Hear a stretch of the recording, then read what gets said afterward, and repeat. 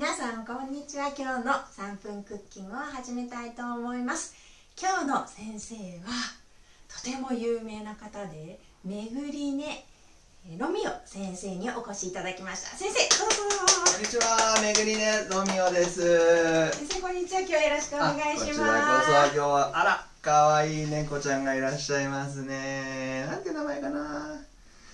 まあそんなことはどうでもよくてですねえーと、では今日はですね、えーと、皆さんに、はい。えーと、日本の伝統的な料理。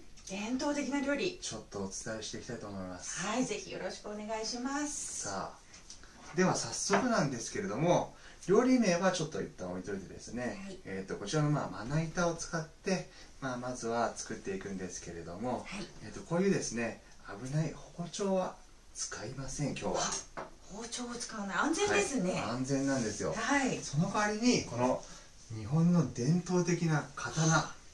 伊達政宗さんなんですけどね。素晴らしい。今日お借りしてきました特別。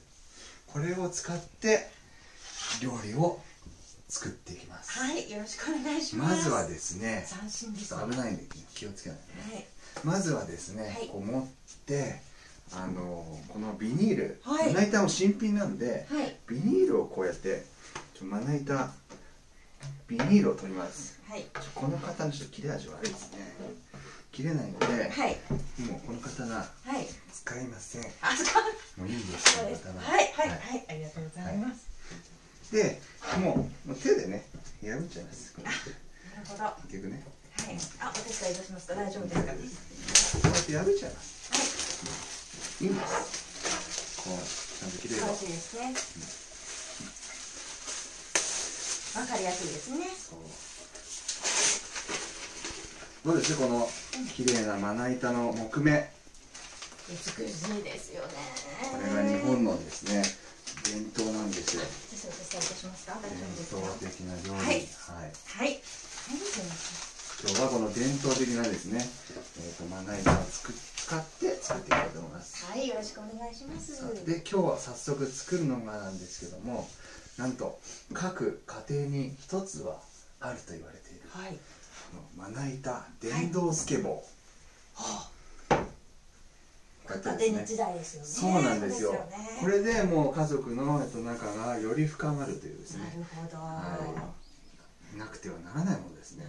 今日ボールはの方よろしくあ今日もうこういうものは一切使いませんあそうですか。今日お手軽にちょっとできるように思ってますんでね、はいでまずはですね、えっと、これを取り付けるために、はい、えっと、印をつけて固定する穴を作ります、はい、でまあ、両サイドにですね、はい、えーと、このように、まあ、中心を見つけていただいてこれ2 5センチなんですけども、はい、その中間にですね、はい、えーと、マーキングをします。マーキングをします、ね、はい、両サイドにマーキングします。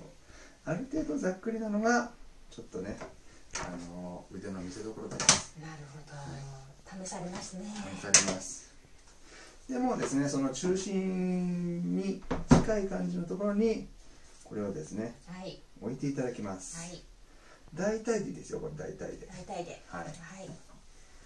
皆さんのセンスで。そう、センスで置いていただいて。これは本当にお任せです。ちょっとこの辺がいいかなみたいな木目があったりするとねちょっと穴が開きづらいんで、はい、ちょっとこちらでもいいかなっていう。もしくは出ちゃってもいいですね。まあ裏返しにしたりまあそういうことですね。そういうことですはい、さすが。よく分かってらっしゃる。はい。こそ木目が変わる。変わります。素晴らしい。変わっちゃう感じがしますそうですね。であとマークがないんでね。そうですね。戻します。戻しましょうはい戻しましょうかね。はい。すいません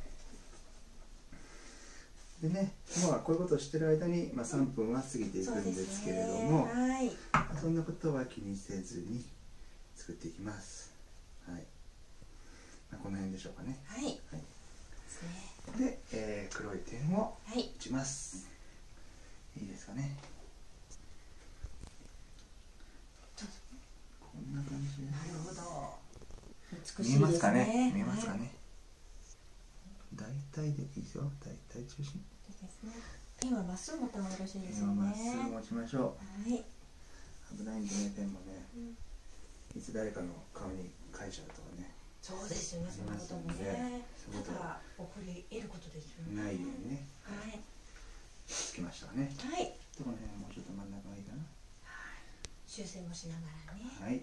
確実にね印をつけていきましょう。そうです。できましたでは一旦この電動スケボーを前に置いていただいて、はい、さあこれ出番になるのがこの単なる台、はい、この単なる台をそうですね、はい、そういうふうに置いていただいて、えーと、ここでね一番ちょっと今回の肝になる、うん、電動ドリル、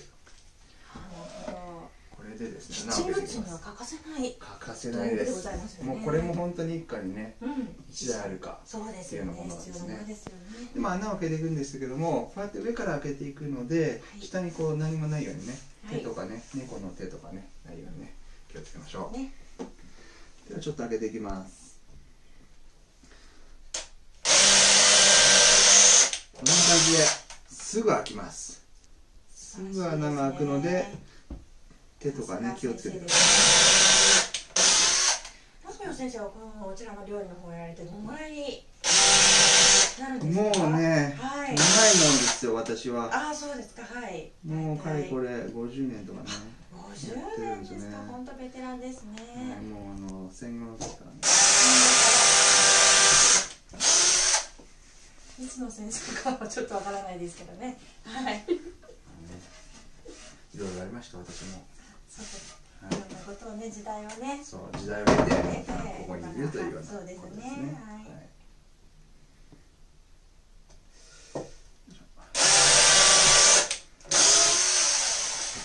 結構このまな板もね、はい、あのご家庭によっていろんなまな板あるので、はい、はい、お好きなまな板使っていただいて結構です。あなるほど。はいちなみに今日のまな板は？今日のまな板はですね、はい、ホームセンターで、はい、なんと800円、お手頃。なお手頃なんですよ。家庭に優しいお値段そうなんですよやっぱりね、うん、伝統的なね料理ですからね。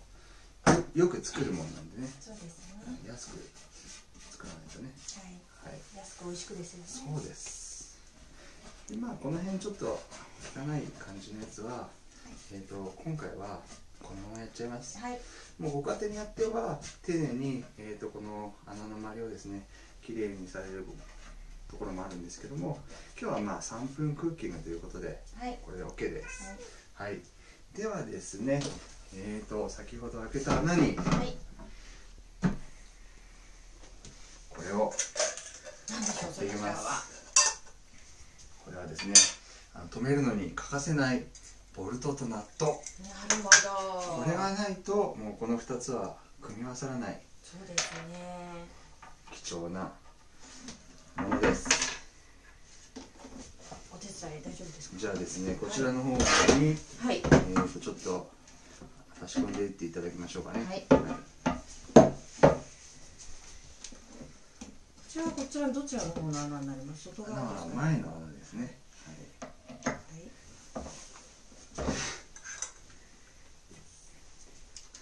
私がじゃあですね、えー、穴をボルトを入れていきますので。うまくうまく合わせていただいて。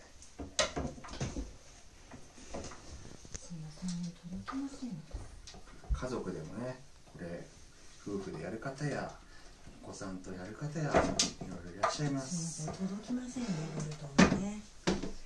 残念ながらね短すぎて。残念ながらボルトが届かないという届かないというハプニング、ね、こういう現象も時々起こったりするんですね。はい届きませんね。残念です、はい、ということで、えっ、ー、とこれで終了です。はい、はい、はい、ありがとうございました。今日は、えー、めぐりねロミオ先生にお越しいただきました。先生ありがとうございました。ありがとうございました。じゃあ次の回にですね、はい、また続きやりましょうか。はい、はい、お願いします。ありがとうございました。ごきげんよう